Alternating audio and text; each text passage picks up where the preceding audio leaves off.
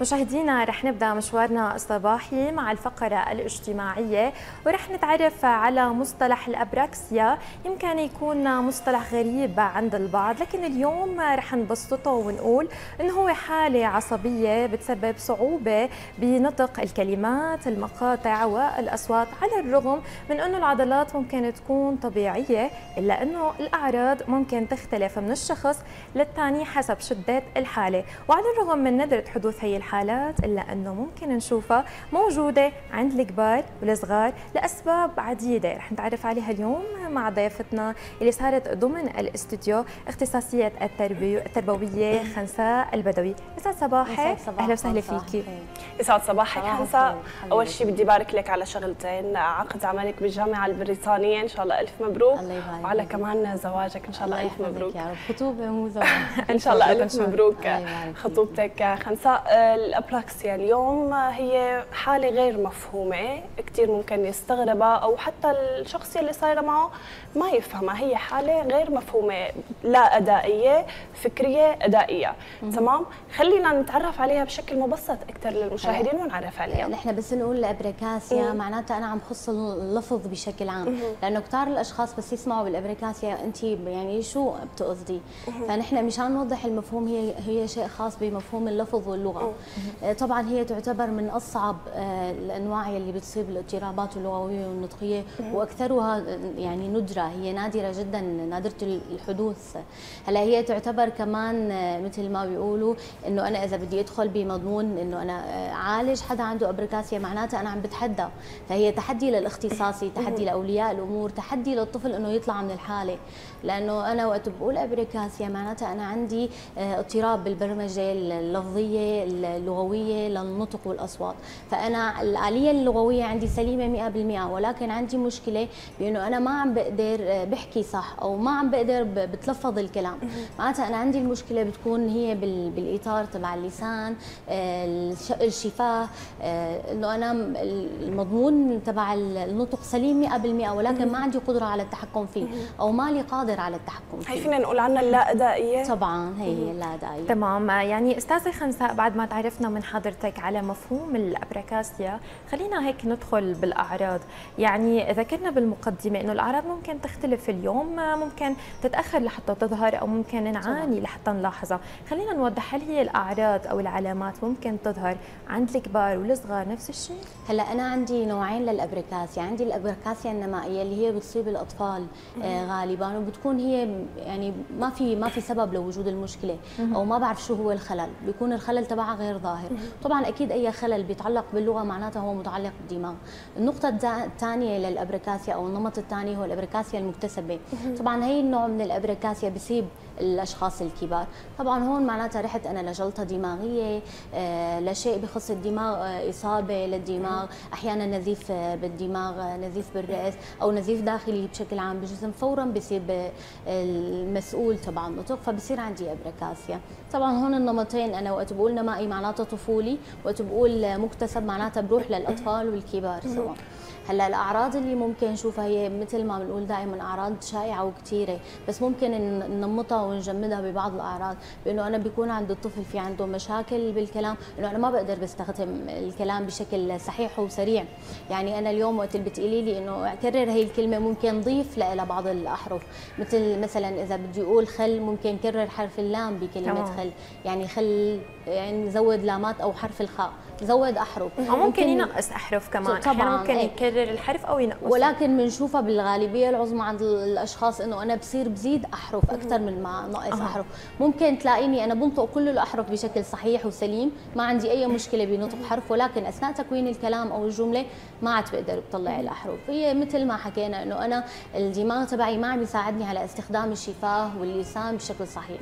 هلأ في عندي كمان بصير مشاكل بالبلع بال...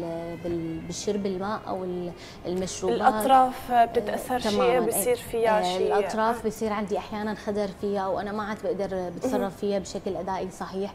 يعني فجأة بتحسي الأطراف تبعك نملت أو وقفت. أو أنت قد يعني القدرة تبعك ما عاد أسعفتك إنه أنت تستخدميها. أنت كشخص بدي احرك إيدي اليمين أنا ما عاد أعرف شو بدي احرك قد تطول الحالة مع الشخص؟ هلأ هي بترجع بترجع من شخص لشخص وقت اللي بقول آه الابركاسيا النمائية. معناتها ممكن تكون عند غالبا آه عند أطفال التوحد أو المتلازم متلازمة داون. فهدول الأطفال أنت مع العلاج الطويل معهم أو مع الحضور الدائم بجلسات النطق أنت عم تخليها شوي شوي تخف. يعني بنوصل لمرحلة 85% إنه هي ما عاد متواجدة عند الطفل. ولكن بيبقى ال 15% إنه أنا لازم دائما متناوب معه بالأداء. لازم دائما عم راقبه لازم دائما عم بعطيه الجلسات تبعه الصحيحة لحتى أبقى متمايز معه بنوعية الكلام. أما إذا كان الموضوع رحنا لشق إنه هو عنده آه، صار آه، خلل أو نزيف أو كذا أو ضربة على الرأس معناته هون رحت بنموذج ثاني للعلاج. ضربة على الرأس ممكن تسبب أبركاسيا؟ أحيانا حتى ضربات الشمس اللي كثير نحن بنحذر منها وبنقول إنه ضربة الشمس بتأثر على الدماغ والأشخاص ما بياخذوها بعين الاعتبار ممكن تأثر كثير على آلية الكلام والنطق. تمام. خلينا نروح لموضوع العلاج. شو الآليات المتبعة اليوم لحتى نحن نتخلص من هي المشكلة؟ هلا بالتناوب دائما مثل ما بنقول مع دكاترة الأعصاب اللي هي بتكون عم تتناول الحالة بمنظومة العلاج الدوائي. بيجي دور هون الجلسات العلاجيه اللي أنا بتكون مرفقة. هي جلسات ممكن ببطاقات علاجية آه، مفردات آه، تتكرر آه، نوعية الجمل اللي ممكن أنا اساعده فيها. الأداء العائلي يعني اليوم أنا إيدي لحالها ما ممكن تشتغل مع المريض لأنه دائما بنقول الساعة أو نصف ساعة العلاجية أمام 24 أو 23 ساعة بالبيت هي ولا شيء تعتبر. فدائما الأداء الصحيح من قبل الأهالي أو من قبل أهل المريض آه، الجلسات اللي نحن بنتناولها معه أو العلاج اللي دائما بنتناوله هي عبارة عن تكرار مرادفات ومفردات آه، اني حادثه بشكل دائم.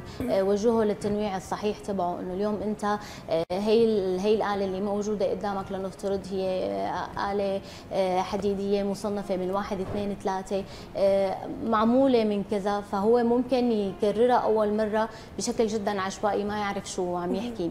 بالمرة الثانية الثالثة الرابعة هيك لنوصل لنمط معين ليقدر يكرر معي النوعية الصحيحة للجمل والاداء هلا ذكرتي أستاذة خنساء آه، سببين ان الضربة ممكن تأثر وكمان ضربة الشمس. تمام. خلينا نتعرف كمان هالأسباب أكثر وواضحه تكون أكثر يعني من خلال إنه تصير عند الشخص إنه مكتسبة أو تكون عنده وراثيه من خلقته خلينا نتعرف على الأسباب. هي ذكرتي شيء أنا كنت بدي أذكره هي الجين أحيانا ممكن الجين هو بيجي مكتسب لل apraxia. يعني أنا من الجين اخذها من من الوراثة الخلقية اللي إنه أنا آخذ جين ال apraxia مشان هيك بخلق عندي apraxia وعندي مشاكل بالكلام.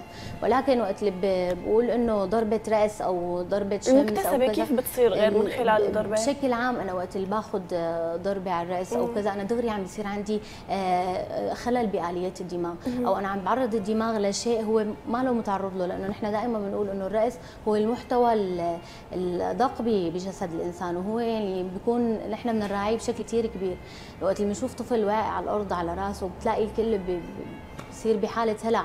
إنه نزيف كذا صور إلى آخره بس لحتى أتأكد إنه آلية الرأس عنده سليمة. ولكن الأبريكاسيا ما بنقول نحن دائما إنه بعد الضربة أنا رح أشوفها لا. هي مع الوقت مع مرور وقت معين ممكن نشوفها وقت بنرجع للبرنامج آه، يلي بيصير عند الطفل أو خليني أقول لدراسة الحالة تبع الطفل.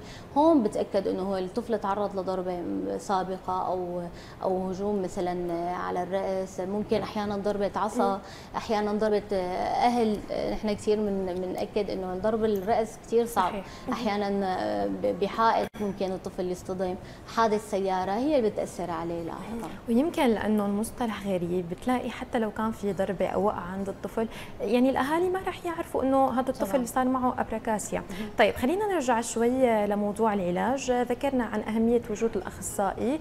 آه، طيب ممكن نحن نعالج عن طريق الأدوية؟ ممكن نلاقي نتائج هلأ هلأ الأدوية شيء لابد منه ولكن دائما نحن بنقول العلاج ذو بندين.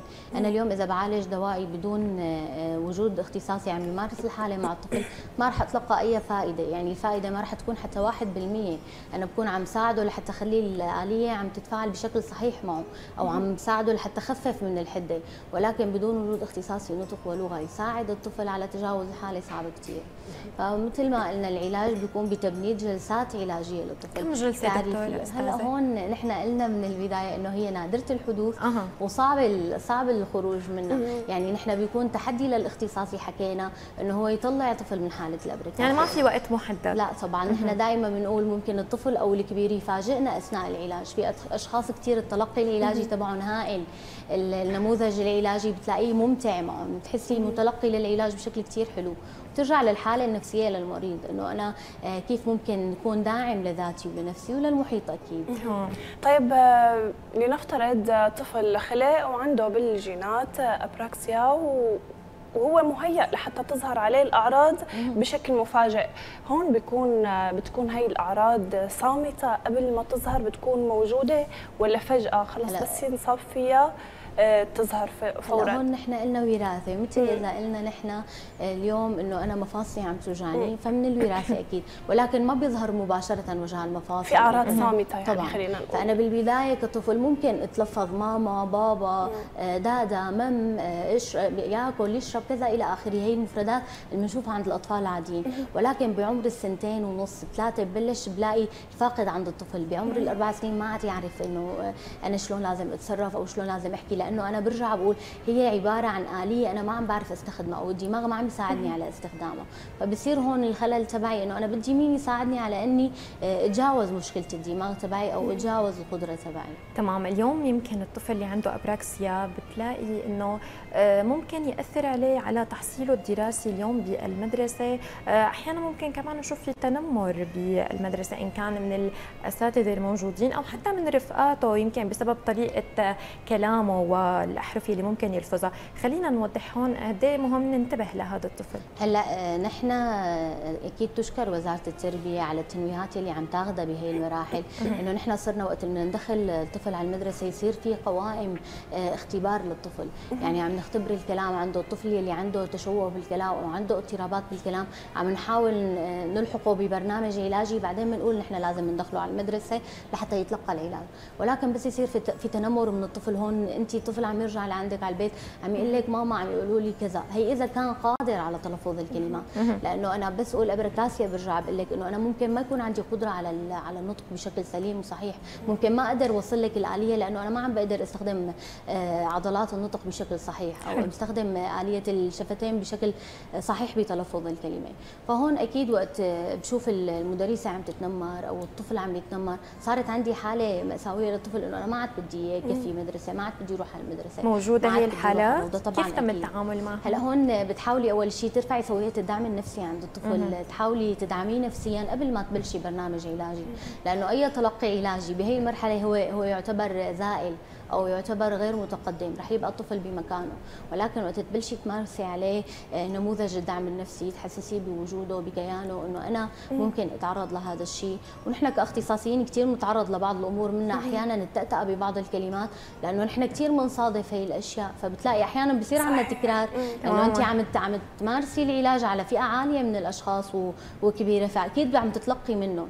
فيعني ممكن أقول له أنا انه ممكن أكون عم بتعرض لهذا الشيء مثلك. ممكن هي البيئة التناوبيه تبع تكرار الكلمة بذات المعنى تبعه لفرجيه إنه أنا قادر أتلفظ الكلمة مثلك ولكن عم بقدر بطلعها بشكل صحيح.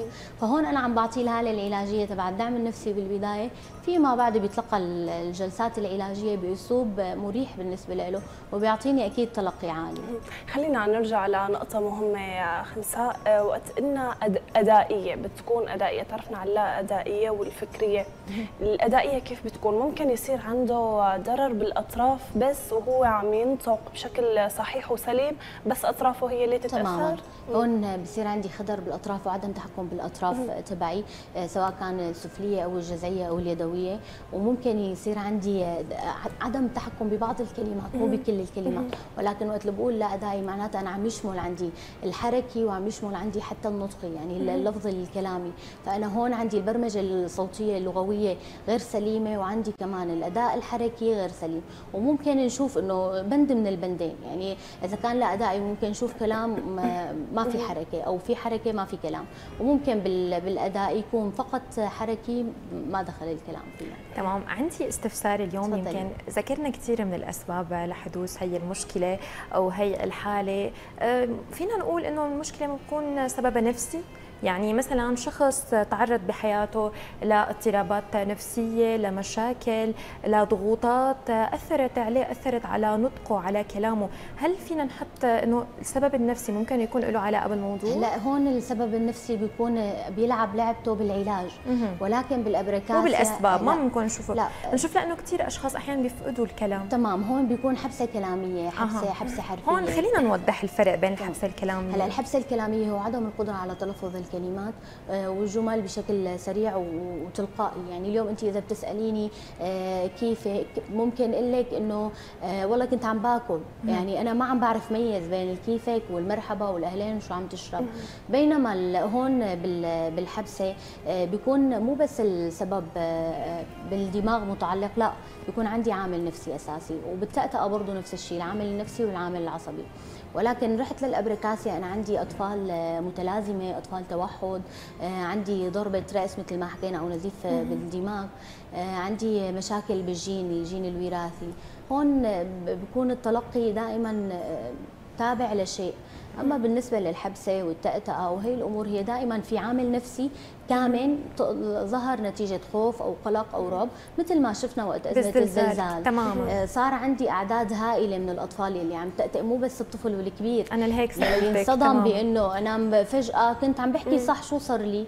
فبقت اللي بتروحي لتعالجي انت شو بدك ترممي؟ وضع نفسي تحت الأرض يعني ولا بدك صحيح. ترممي حالة علاجية مع أشخاص؟ بدك تعرفي كيف تتناولي العلاج معهم. أكيد اليوم أنا ما فيني أتناول العلاج مع طفل عمره ست سنين نفس ما بتناوله مع الأربع سنين نفس ما بتناوله مع ال 16 يعني كل بند علاجي من شخص لشخص يفرق. وأكيد هون نحن دائما بنقول مراعاة الفروق الفردية بين الأشخاص. خلينا بآخر دقيقة دقيقتين معنا نحكي عن المخاطر. إذا ما تم المعاملة مع هذا مع هي الحالة ما فينا نسميها مرض فينا نسميها مرض؟ لا طبعا فينا نسميها مرض, مرض. مع هذا المرض في حال ما تم الأهل تجاهلوا هذا المرض أو هو لأنه هو حالة غير مفهومة يعني. ما تعاملوا صح أو ما عالجوا الطفل أو الشخص يلي عنده مصاب. شو هي المخاطر يلي ممكن تصير؟ هلأ الفواقم يلي بتصير بهي الحالات بأنه أنا ما عاد رح أعرف اتلقى الكلام بشكل سليم وصحيح. ما رح اكون طفل سليم مثلي مثل غيري بالأداء. طبعا. بس أنا ممكن أسمع وافهم بس أنا صعب كثير إني أحكي. فبصير أنا هون رحت عم أو عم نمذج الطفل على مبدأ أنت بتحكي وبتسمع بس للأسف ما قدرت اتصرف باللغة فروح لجانب إنه أنا أستخدم لغة الإشارة أو أستخدم إنه أنا بدل ما أحكي معك أو اتناول الكلام أشر لك واكتفي بالإشارة. فهون أنا عم أزيل جانب يعني يعتبر تكريم للإنسان الله أعطاه إنه جانب النطق واللغة تكريم الله أعطانا اياه يعني انه نحن ننطق ونحكي مثل ما أعطانا تكريم بالعقل. فأنا عم بزيل جانب كثير مهم بحياة الشخص آه، مقابل إنه يستخدم الإشارة. أكيد. يعني بالختام الاختصاصية التربوية خنساء البدوي. بدنا نشكرك كثير على كل المعلومات اللي قدمتي لنا إياها. بتمنى أكيد الوعي من الأهالي حول هذا الموضوع لأنه دائما بنقول إنه العلاج المبكر لأي حالة أو أي مشكلة هو الحل المناسب كرمال ما يأثر لمستقبل الطفل وشخصيته. وشكرا لك ولوجودك. شكرا لكم أكيد. أكيد نحن بنتمنى السلامة للجميع ولجميع الأطفال. يعطيكم شكرا لك خنساء بدوي وشكرا لكل النصائح وشكرا لوجودك عن جد. وأنا شخصيا كثير استفدت من المعلومات يلي قدمتيها وحبيت الفقرة كثير شكرا لك وموفقة حبيبتي.